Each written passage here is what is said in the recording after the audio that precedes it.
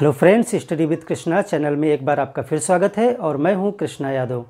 Friends हम पढ़ रहे थे वाल्केनो और वाल्केनिक के जो बनने वाले स्थल रूप हैं, उन पे हमने चर्चा कर ली थी और आज का हमारा टॉपिक रहेगा सीजमी सिटी या भूकंप। तो भूकंप क्या होता है? भूमि का कंपन, यानी जब ज़मीन हिलने डुलने लगती है, उसमें कंपन होने लगता है तो उसे कहा जाता है भूकंप।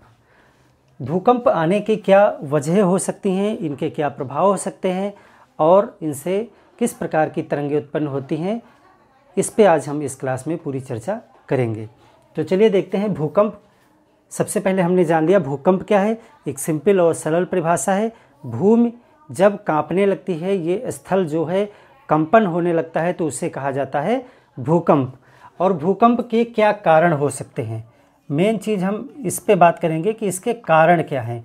हमने आपको प्लेट टेक्टोनिक्स में बताया था कि जो स्थल खंड हमारा होता है, उसके नीचे दुर्बलता मंडल है स्थिनो स्फीयर है। तो कई कारण होते हैं भूकंप के।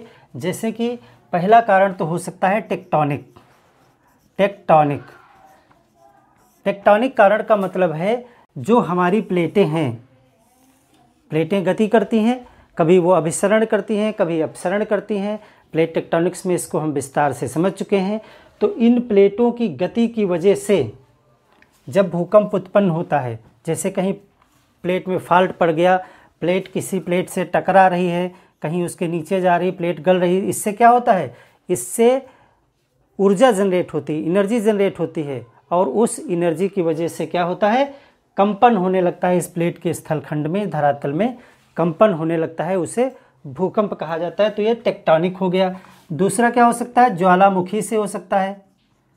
ज्वालामुखी ज्वालामुखी का जब उद्गार होता है तो उसकी वजह से भी भूकंप जनरेट हो सकता है। तो वो ज्वालामुखी, उसका रीज़न हो सकता है। तीसरी चीज़ हो सकती है कृत्रिम। मानव जनित परमाणु परीक्षण या इस प्रकार के जो बड़े बड़े धमाके करते हैं इंसान, इसकी वजह से भी भूकंप जनरेट हो सकता है तो वो मानवजनित हो सकता है, कृत्रिम। और एक कारण हो सकता है, पृथ्वी की आंतरिक क्रियाएँ आंतरिक क्रियाएँ। पृथ्वी के अंदर जो आंतरिक क्रियाएँ चल रही हैं, स्थिनोस्फियर, मेंटल वगैरह में, उनकी वजह से भी भूकंप जनरेट होता है। जैसे कि प्लेट के नीचे यहाँ पे स्फीनोस्फीयर भरा हुआ है, जिसके अंदर रेडियो एक्टिव एलिमेंट्स हैं। उन रेडियो एक्टिव एलिमेंट्स के द्वारा हीट जनरेट होती है और वहाँ पे प्रत्यास्थ ऊर्जा जनरेट होती है। यानी जब ये मैग्मा की संवाहन तरंगें चलने लगती हैं, हमने आपको बताया था कि मैग्मा के चैम्बर हैं और उन चैम्बर्स में जब मैग्मा की गति होने लगती है तो उसे मैग्मा करेंट्स कहा जाता है। तो उन मैग्मा की संवाहन तरंगों का इन प्लेट के ऊपर बल फोर्स लगता है। ऊपर की तरफ़ मैग्मा प्लूम बनता है। और हॉट स्पॉट बनते हैं यहाँ पे। उससे क्या होता है? प्रत्यास्थ ऊर्जा जनरेट होती है और वो इन प्लेटों को नीचे से धक्का देती है। अगर ये प्लेट में कहीं दरार पड़ गई, फॉल्ट पड़ गया तो उससे भी भूकंप जनरेट हो जाएगा या फिर ज्वालामुखी बन जाएगा, तब भी ज़मीन काँप जाएगी। अगर फॉल्ट नहीं पड़ता है और ज्वालामुखी भी नहीं जनरेट होता है, तब भी इनके बल की वजह से इन प्लेटों में क्या होगा? कंपन उत्पन्न हो जाएगा, उसे ही कहा जाएगा भूकंप। तो भूकंप के कई कारण हो सकते हैं। हमने देखा कि विवर्तन की जो मूवमेंट होते हैं, प्लेटों की गतियाँ जो होती हैं, अभिसारी और अपसारी या संरक्षी, उनसे भी भूकंप उत्पन्न होते हैं, ज्वालामुखी के द्वारा भूकंप उत्पन्न होते हैं और इसके अंतर जो रासायनिक और फ़िज़िकल एक्टिविटीज़ हो रही हैं, पृथ्वी गति कर रही है, प्लेटों के जो मध्य में है, वहाँ पे घर्षण भी हो रहा है। इन सब वजहों से जो नीचे एनर्जी जनरेट होती है, उससे भी भूकंप उत्पन्न हो जाता है।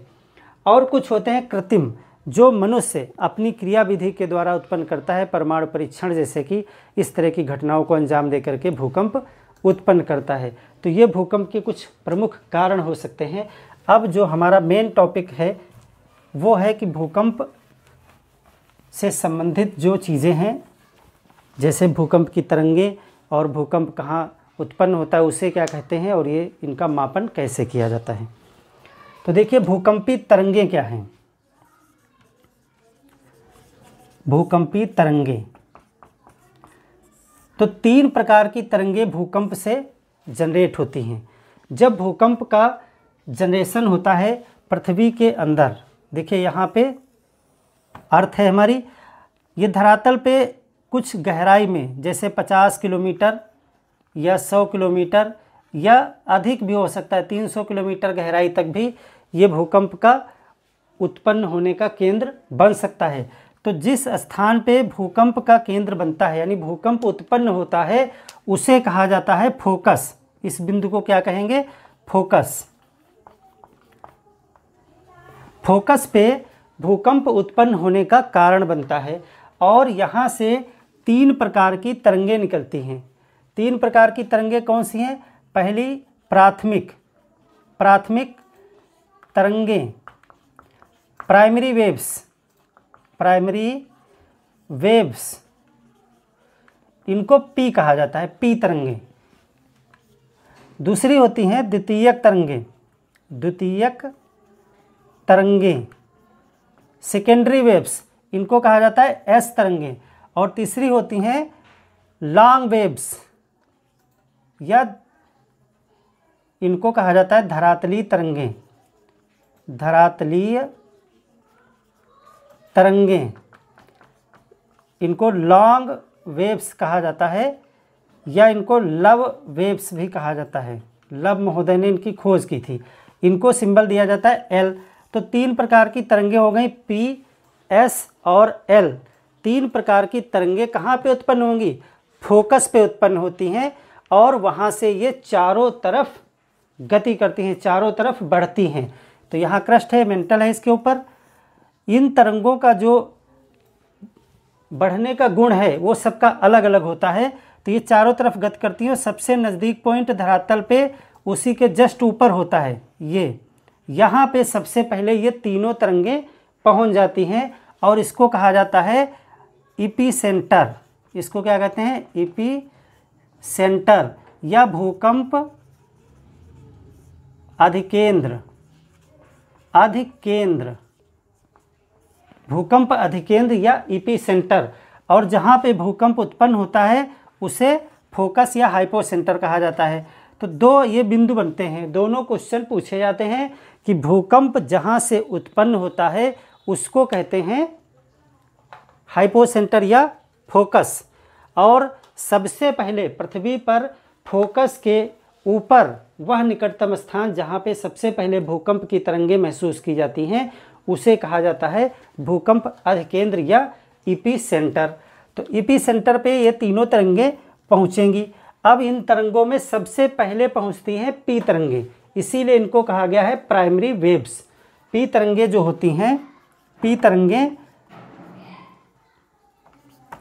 तीनों माध्यमों में चल सकती हैं। ये सभी माध्यम में चल सकती हैं, ठोस में, द्रव में, सभी में। ठोस में भी चल सकती हैं और द्रव में भी चल सकती हैं। इनकी गति सबसे तेज होती है, इनकी तीव्रता सर्वाधिक होती है। देखिए, इनकी जो तीव्रता है, यानी कंपन कंपन करने की जो स्पीड है, इनके कणों के कंपन की वो तीव्रता सर्वाधिक है। तीव्रता इनकी सर्वाधिक है और इनकी प्रकृति क्या है? ये प्रकार किस प्रकार की तरंगे हैं? ये अनुदैर्ध्य तरंगे हैं। अनुदैर्ध्य तरंगे। अनुदैर्ध्य तरंगे होती हैं। जो प्राथमिक तरंगे हैं, उनकी तीव्रता सर्वाधिक होती है और ये अनुदैर्ध्य तरंगे होती हैं। अनुदैर्ध्य तरंगे क्या होती हैं? जिनमें कणों के कंपन करने की दिशा तरंग चलने की दिशा में ही होती है। वो होती हैं अनुदैर्ध्य तरंगे जैसे ध्वनि तरंगे। जैसे कि ध्वनि तरंगे जो होती हैं वो अनुदैर्ध्य तरंगे कही जाती हैं। तो ध्वनि उदाहरण दे सकते हैं sound waves. Sound waves. Sound waves जो होती है पीप तरंगों के प्रकार की तरंगे हैं। तो इनकी तीव्रता क्या हो गई? सर्वाधिक। इनका प्रकार क्या है? ये अनुदैर्ध्य तरंगों के प्रकार की हैं और ये सभी माध्यमों में चलती हैं। इसीलिए ये तरंगे क्रस्ट में भी चलेंगी, मेंटल में भी चलेंगी और ये कोर में भी चलेंगी। और यहाँ से इस फोकस यानी ईपी सेंटर से ये पार करके एंटीपोड तक आ जाएँगी। दूसरी तरफ़ ये कोर को पार करते हुए पहुँच जाएँगी। लगभग इसमें 21 से 25 मिनट का समय लगता है इनको और वो पहुँच जाती है वहाँ पे एंटीपोड पे, उसके विपरीत दिशा वाले स्थान पे। तो इनकी तरंग दैर्घ्य क्या होती है? इनकी जो तरंग दैर्घ्य है, वो कम है। तरंग दैर्घ्य इनकी इन तीनों में सबसे कम होती है। तो यहाँ पे प्राथमिक तरंगों की तीन, चार चीज़ें हो गई। सभी माध्यम में चल सकती हैं, इनकी तीव्रता सबसे ज़्यादा है, ये अनुदैर्ध्य प्रकार की हैं, यानी जैसे कि साउंड वेव्स होती हैं, और इनकी तरंग दैर्घ्य सबसे कम है। जब तरंग दैर्घ्य सबसे कम होगी तो ये किसी भी स्थान को कम हिलाएँगी, डुलाएँगी, क्योंकि इनकी तरंग दैर्घ्य कम है। जैसे कि इस तरह से इनकी तरंग दैर्घ्य कम होगी, यानी इस तरह से ये रहती हैं। और जिसकी तरंग दैर्घ्य ज़्यादा होगी, वो इस तरह से दूर दूर इस तरह से आएँगे उनके। बहुत ज़्यादा होगी तो इस तरह से होगा। तो ये पी हैं, ये एस हैं और ये एल हैं। तो जो पी है इनकी तरंग दैर्घ्य सबसे कम है, इसीलिए जो नुकसान है, अगर धरती को हिलाने का जो काम है, वो सबसे कम ये करेंगी। नुकसान भी इनसे कम होगा। यानी जहाँ पे केवल पी तरंगे होंगी, वहाँ पे नुकसान ना के बराबर होगा। तो इतनी चीज़ें पी तरंगे हैं। सभी माध्यम में चल सकती हैं, यानी ठोस में, द्रव में, गैस में सब में चल सकती हैं। तीव्रता इनकी सबसे ज़्यादा है, लेकिन नुकसान सबसे कम करेंगी। क्यों? क्योंकि इनकी तरंग दैर्ध्य कम होती है। और ये किस प्रकार की तरंगे हैं? ये अनुदैर्ध्य तरंगे हैं। जैसे कि उदाहरण के लिए ध्वनि तरंगे होती हैं, अनुदैर्ध्य तरंगे। अनुदैर्ध्य तरंगे क्या होती हैं? जिनमें तरंग के कणों का कंपन करने की जो दिशा होती है, वो तरंग के चलने की दिशा के सापेक्ष होती है, यानी समान होती है। तो ये पी तरंगे हो गई। दूसरी हमारी हैं एस तरंगे। अब एस तरंगों के कौन से? प्रमुख लक्षण हैं, वो देख लें। एस तरंगे। एस तरंगों में इनकी जो तीव्रता है, वो पी से कम है। तीव्रता पी से कम है, इसीलिए इनकी जो स्पीड होगी, वो पी से कम होगी। यानी इनकी गति क्या होगी? वो भी पी से कम होगी। और ये प्रकार कौन सा है? ये प्रकार है अनुप्रस्थ प्रकार की तरंगे। अनुप्रस्थ तरंगे हैं ये। अनुप्रस्थ तरंगों का एक उदाहरण होता है जैसे प्रकाश तरंगे लाइट वेव्स प्रकाश की। इनमें जो है कणों के कंपन करने की दिशा, तरंग के चलने की दिशा के लंबवत होती है ट्रांसवर्स होती है। तो ये प्रकाश तरंगों के प्रकार की तरंगे हैं और ये जो है केवल ठोस में चल सकती हैं। ठोस में चल सकती हैं और द्रव में नहीं चल सकती हैं, द्रव में नहीं चलेंगी ये। इसीलिए ये तरंगे मेंटल जहाँ जहाँ द्रव स्थान है, जैसे आउटर कोर में, वहाँ ये पार नहीं कर पाएँगी, ये कोर तक नहीं पहुँच पाएँगी, ये मेंटल से ही विस्थापित हो जाएँगी, इनकी दिशा बदल जाएगी। अभी हम एक डायग्राम बना करके बताएँगे आपको कहाँ कहाँ पी पहुँचेंगी, कहाँ एस पहुँचेंगी। तो ये तरंगे ई पी सेंटर पे तो पहुँचेंगी यहाँ। लेकिन ये कोर को पार नहीं कर पाएँगी क्योंकि बीच में लिक्विड स्टेट आ जाएगा। लिक्विड स्टेट में चल नहीं पाती हैं, इसीलिए तरंगे मुड़ जाएँगी। इनकी गति दूसरी तरफ़ हो जाएगी और ये यहाँ नहीं पहुँच पाएँगी एंटीपोड वाले स्थान पे। तो एस तरंगे क्या हैं? केवल ठोस में चल पाएँगी, द्रव में नहीं चलेंगी। इनकी तीव्रता कम है, पी से कम है और इनकी गति पी से कम है। इसीलिए इनको सेकेंडरी वेव्स कहा गया है। सेकेंडरी क्योंकि फोकस पे उत्पन्न होने के बाद में जो तरंगे यहाँ पे दूसरे नंबर पे पहुँचेंगी, यानी सबसे पहले पी पहुँचेंगी तो वो हो गई प्राइमरी वेव्स उसके बाद यस पहुँचेंगी, वो हो गई सेकेंडरी वेव्स इसके बाद आती हैं एल तरंगे. एल तरंगे या लॉन्ग वेव्स अच्छा यहाँ पे इनकी तरंग दैर्घ्य हमने बता दी एस तरंग एस तरंगों की तरंग दैर्घ्य जो होती है, वो पी से ज़्यादा होती है। इसीलिए ये पी से थोड़ा खतरनाक हैं, लेकिन ये भी ज़्यादा नुकसान नहीं करती हैं। एल तरंगे जो हैं लॉन्ग वेव्स ये केवल सतह पे चलती हैं, केवल धरातल पे चलेंगी। यानी ये धरातल पे चलेंगी, ये ना तो मेंटल में जाएँगी और ना कोर में जाएँगी। ये अंदर कहीं भी प्राप्त नहीं होंगी, अंदर नहीं जाएँगी। ये सिर्फ़ धरातल पे चलेंगी इस तरह से। इस तरह से धरातल पे ही ये तरंगें गति करती हैं। बाहर बाहर इनको इसीलिए धरातलीय तरंगें भी कहा जाता है। और लव नाम के एक शोधकर्ता ने इनकी खोज की थी, इनके विषय में शोध किया था, इसलिए इनको लव वेव्स भी कहा जाता है। और यल इनको सिंबल दिया गया है कि उनकी, इनकी तरंग दैर्घ्य जो है, वो बहुत लॉन्ग है। इसीलिए इनको लॉन्ग वेव्स भी कहा जाता है। इनकी तीव्रता क्या है? तीव्रता सबसे कम है। तीव्रता सबसे कम है, इसीलिए इनकी स्पीड भी सबसे कम होगी। लेकिन इनकी जो तरंग दैर्घ्य है, वो सर्वाधिक है। सर्वाधिक है। यानी ये भूमि को बहुत तेज़ी तेज़ी से हिलाएँगी, डुलाएँगी, बहुत ज़्यादा कंपन करेंगी। इसी वजह से सबसे ज़्यादा नुकसान जो है, वो यही तरंगे करेंगी। सर्वाधिक नुकसान। सबसे ज़्यादा नुकसान करने वाली तरंगे कौन सी हैं? एल वेव्स लॉन्ग वेव्स या धरातलीय तरंगे। तो इस प्रकार से तीन प्रकार की तरंगे जो है भूकंप से जनरेट होती हैं प्राइमरी सेकेंडरी और लॉन्ग वेव्स अगर तीव्रता के आधार पर पूछा जाए तो प्राइमरी की तीव्रता सबसे ज़्यादा है सेकेंडरी की उससे कम और लॉन्ग वेव्स की सबसे कम। अगर तरंग दैर्घ्य के आधार पर पूछा जाए तो तरंग दैर्घ्य सबसे ज़्यादा होती है लॉन्ग वेव्स की उससे कम सेकेंडरी और सबसे कम प्राइमरी की होती है। नुकसान सबसे ज़्यादा लॉन्ग वेव्स करेंगी। इस प्रकार से तीनों प्रकार की तरंगों के लक्षण आप समझ गए होंगे। ईपी सेंटर क्या होता है? ईपी सेंटर वो स्थान होता है जहाँ पर भूकंपी तरंगें सबसे पहले पहुँचती हैं, या आप कह सकते हैं कि भूकंप का अनुभव जिस स्थान पे सबसे जल्दी या सबसे पहले होता है, वो ईपी सेंटर कहलाता है और उसी के नीचे जहाँ पे भूकंप उत्पन्न होता है, उसे कहा जाता है भूकंप मूल या फोकस। तो इस प्रकार से ये दो शब्द हैं और ये तीन प्रकार की तरंगे हैं। अब हम देखते हैं कि भूकंप का मापन कैसे किया जाता है। दो पैमाने एग्ज़ाम में पूछे जाते हैं, दोनों के विषय में आप जान लें संक्षेप में। एक होता है मार्केली पैमाना। एक नाम सुना होगा आपने, मर्केली स्केल। और दूसरा है रिक्टर स्केल रिक्टर स्केल इससे इन दोनों पैमानों से भूकंप का मापन किया जाता है। क्या अंतर है दोनों में?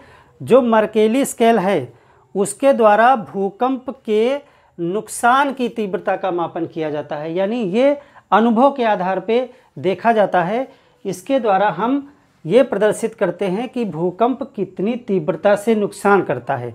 यानी आप कह सकते हैं कि भूकंप के प्रभाव की तीव्रता का अध्ययन जो है वो, मापन जो है वो मर्केली स्केल द्वारा किया जाता है और इसको ज़ीरो से बारह डिजिट तक मापा जाता है।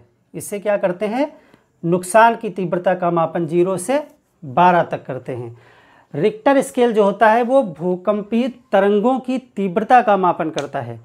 यही मुख्य स्केल है जो आप न्यूज़पेपर या न्यूज़ चैनल पे आप सुनते हैं कि इतने रिक्टर स्केल पे इतनी तीव्रता का भूकंप आया है छः तीव्रता का, सात तीव्रता का, आठ तीव्रता का तो वो रिक्टर पैमाने का होता है। रिक्टर पैमाने पर जो मापन होता है, भूकंपी तरंगों की तीव्रता का, वो ज़ीरो से नौ तक होता है। अभी तक जो सर्वाधिक ज्ञात भूकंप है, वो 9.5 तक का ज्ञात किया गया है। अभी 10 का कोई ज्ञात भूकंप नहीं है और ना तो आने की संभावना है, क्योंकि एक डिजिट बढ़ने पर भूकंप जो है, वो बहुत शक्तिशाली हो जाता है। तो इस प्रकार से ये दो स्केल हो गए जिनसे भूकंप का मापन किया जाता है। रिक्टर स्केल से भूकंप की तरंगों की तीव्रता और मार्केली स्केल से जो है भूकंपी नुकसान की तीव्रता का अध्ययन किया जाता है। एक शब्द आता है, सम सीज्मिक लाइंस सम भूकंपीय रेखाएँ, सम भूकंपीय रेखा। आइसोसीज्मिक लाइन। आइसोसीज्मिक लाइन क्या है? जैसे कि किसी स्थान पे भूकंप उत्पन्न हुआ यहाँ पे, ये इपी सेंटर है तो चारों तरफ़ जो है उसके भूकंप की तीव्रता फैलेगी। चारों तरफ़ उसके झटके महसूस किए जाएँगे तो दो प्रकार के हो सकते हैं। एक तो वहाँ पे जो तरंगों की तीव्रता है, वो रिक्टर स्केल पे सब जगह बराबर होगी। सभी जगह बराबर होगी, जो ऐसा नहीं होगा कि इंडिया में भूकंप आया है और उसे अगर किसी दूसरे देश में चाइना में रखे सीस्मोग्राफ के द्वारा पढ़ा जाता है तो वहाँ पे रीडिंग कुछ और आ जाएगी। जो सीस्मोग्राफ इंडिया का बताएगा कि ये सात पैमाने का है, वही चाइना का बताएगा कि ये सात पैमाने का है। ठीक है? सात रिक्टर स्केल वो भी बताएगा। और जापान में रखा हुआ सीस्मोग्राफ भी उसको सेवन ही रीडिंग करेगा। तो जो सम भूकंप की लाइन होती है, जैसे कि जो तीव्रता वहाँ पे एक समान तीव्रता वाले जो क्षेत्र होते हैं, भूकंपी क्षेत्र के, वो रेखाएँ जो एक समान तीव्रता वाले भूकंपी क्षेत्रों को मिलाती है, उनको आइसोसीज्मिक लाइन कहा जाता है। तो यहाँ पे सीस्मोग्राफ, हमने एक शब्द प्रयोग किया, सीस्मोग्राफ क्या है? भूकंप का मापन करते हैं, उस यंत्र को सीस्मोग्राफ कहा जाता है। जो मापन है, ये सीस्मोग्राफ से किया जाता है। सीस्मोग्राफ। एक सीस्मोमीटर होता है, एक सीस्मोग्राफ होता है। सीस्मोग्राफ जो होता है, वो भूकंप ऑटोमेटिक होता है। वो भूकंप आता है, वैसे ही वो उसकी रीडिंग कर लेता है। सीस्मोमीटर जो होता है वो वैज्ञानिक साथ में रखते हैं और उसको जब चाहे तब वहाँ पे कंपन के मापन के लिए प्रयोग करते हैं, वो सीस्मोमीटर होता है। सीस्मोग्राफ ऑटोमेटिक होता है, जैसे ही भूकंप आता है, वो उसको तुरंत पढ़ लेता है। तो इस प्रकार से मर्केली पैमाना, रिक्टर स्केल आइसोसिस्मिक लाइन क्या है और सिस्मोग्राफ क्या है, वो आप समझ गए होंगे। भारत में कई जगहों पे सिस्मोग्राफ स्थापित किए गए हैं, जिनसे भूकंप का मापन किया जाता है। भारत में कहाँ कहाँ पे सीस्मोग्राफ लगाए गए हैं?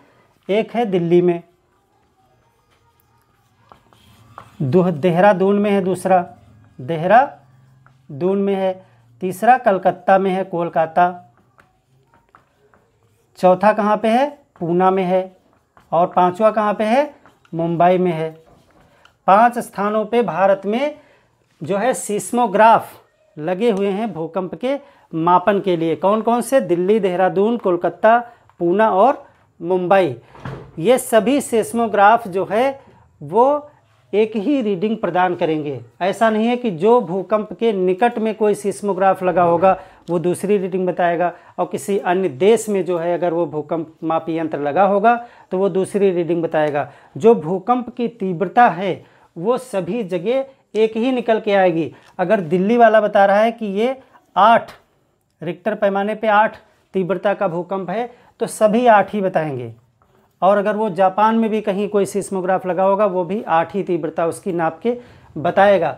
हाँ ये जो भूकंप का नुकसान होता है, उसकी अलग अलग स्थानों पर जो है अलग अलग तीव्रता होती है। वो ईपी सेंटर के पास सर्वाधिक होगी और जैसे जैसे हम दूर जाते जाएँगे तो वो नुकसान की जो तीव्रता है, वो कम होती जाएगी। और वो एक प्रकार की तीव्रता वाले जो स्थानों को मिलाने वाली लाइन को कहा जाता है, आइसोसीज्मिक लाइन। तो इस प्रकार से भूकंप के विषय में आपने जाना। अब देख लेते हैं कि भूकंप की तरंगें किस प्रकार से गति करती हैं। ये हमारी अर्थ है और यहाँ पे फोकस पे भूकंप जनरेट हुआ। तो यहाँ से ईपी सेंटर पे सभी तरंगें पहुँच गई एसपी और एल यहाँ से जो है इस तरह से एस तरंगें और पी तरंगें बढ़ती हैं। ये यहाँ पे कोर है और इसके ऊपर ये द्रवित क्षेत्र है। यहाँ भी जो एस तरंगें होंगी वो इस द्रव को पार नहीं करेंगी और यहीं से विचलित हो जाएँगी इधर की तरफ़। ये कर्व के रूप में एस और पी दोनों प्रकार की तरंगें जो हैं वो इस तरह से चलेंगी। इधर जाएँगी, इधर और इधर। तो यहाँ पे एस तरंगें और पी तरंगें दोनों पहुँचेंगी। यहाँ एस भी पहुँच रही हैं और यहाँ पी तरंगें भी आ जाएँगी। पी पहले आएँगी, एस बाद में आएँगी। पी पहले आएँगी, एस बाद में आएँगी। लेकिन इसके बाद में ये लगभग आता है 105 डिग्री। 105 डिग्री। ये मैं आपको internal structure of the earth वाले चैप्टर में डिटेल में पहले भी बता चुका हूँ, यहाँ पे रिवाइज कर दे रहा हूँ कि यहाँ पे आपका जो कोण बनेगा यहाँ से 105 डिग्री इधर 105 डिग्री इधर, या आपको कहीं कहीं 103 डिग्री भी आपको लिखा मिल जाएगा, दोनों सही हैं। 103 डिग्री। 105 डिग्री तक एस और पी दोनों तरंगे पहुँचती हैं। इसके बाद अंदर द्रवित क्षेत्र होने की वजह से, तरल होने की वजह से एस तरंगें इसके आगे नहीं जा पाती हैं। वो यहीं से सब विचलित हो जाएँगी। और पी तरंगें जो हैं, वो आर पार यहाँ निकल के प्राप्त होंगी आकर के। लेकिन उनका मार्ग भी थोड़ा सा विचलित हो जाएगा। इस तरह से। और कुछ ऐसे क्षेत्र होंगे जहाँ पी तरंगें भी नहीं पहुँच पाएँगी। क्योंकि पी तरंगों का मार्ग भी जब डेंसिटी चेंज हो जाएगी तरल क्षेत्र आ जाएगा तो उनका मार्ग भी बदल जाएगा। जैसे ये इधर की तरफ़ जा रही थी तो ऐसे हो जाएँगी ये। ये इधर को जा रही थी, ये ऐसे हो जाएँगी। तो यहाँ नहीं पहुँच पाएँगी। कुछ एरिया ऐसा होगा जहाँ एस भी नहीं पहुँच पाएँगी। तो वो कौन सा एरिया होगा? 105 डिग्री ये था और 145 डिग्री ये है। 145 डिग्री इधर। तो 105 से 145 डिग्री के मध्य में पी तरंगे नहीं पहुँच पाती हैं। यहाँ पे कौन सी नहीं होंगी? पी तरंगे नहीं होंगी। एस तरंगे नहीं होंगी। यहाँ पे पी तरंगे नहीं होंगी। एस तरंगे नहीं होंगी। इतने एरिया में। यहाँ से, यहाँ तक। 105 से 145 आप कह सकते हैं। जो 105 से 105 वाला एरिया बनेगा, ये टोटल, यहाँ पे कौन सी तरंगे नहीं हैं? यहाँ एस नहीं है। एस तरंगे नहीं है। पी तरंगे तो मिलेंगी यहाँ पे। इतने में दोनों तरंगे नहीं मिल रही हैं, देखिए। लेकिन यहाँ जो है, केवल एस तरंगे नहीं मिल रही, पी हैं। तो अब इनके नाम क्या हैं? इनको कहा जाता है एस और पी तरंग छाया क्षेत्र। इसको क्या कहेंगे? एस और पी तरंग छाया क्षेत्र। और ये जो है पूरा जोन, इसको कहते हैं एस तरंग छाया क्षेत्र। एस तरंग छाया क्षेत्र। अब हमको बताइए कि एल तरंगे कहाँ नहीं मिलेंगी? इसमें एल तरंगों का कोई छाया क्षेत्र होगा? नहीं एल तरंगे धरातल पे चलती हैं और वो सब जगह पूरे धरातल पे गति करती हैं। इसलिए उनका कोई छाया क्षेत्र नहीं होगा। एल तरंगे सब जगह पहुंचेंगी। इस प्रकार से इपी सेंटर से जो है तरंगे चलती हैं। सभी तरंगे अपने अपने प्रकृति और गुण के आधार पर काम करती हैं। पी और एस तरंगे दोनों जो है 105 डिग्री तक प्राप्त होती हैं इधर, और उसके बाद एस तरंगे प्राप्त नहीं होती हैं। पी तरंगे भी कोर को पार करके एंटीपोड, यानी विपरीत दिशा वाले स्थान तक पहुँच जाती हैं, लेकिन कुछ ऐसे जगह हैं जहाँ पर पी तरंगे भी नहीं पहुँच पाती। उसकी वजह है मीडियम में अंतर, जो है ठोस, द्रव, फिर ठोस इस मीडियम में अंतर की वजह से उनकी दिशा बदल जाती है और कुछ पी तरंगों का छाया क्षेत्र भी बनता है। तो इस प्रकार से भूकंपी तरंगों की गति होती है। तो आशा है भूकंप के विषय में आपको इतनी बातें समझ में आ गई होंगी और मिलते हैं अगले लेक्चर में, जिसमें हम रॉक्स के विषय में पढ़ेंगे, जो एक बहुत इंपॉर्टेंट टॉपिक है। वहाँ से बहुत सारे क्वेश्चंस आपके मेंस और प्रीलिम्स के बनते हैं। तो चट्टानों के विषय में हम अगली क्लास में अध्ययन करेंगे। धन्यवाद।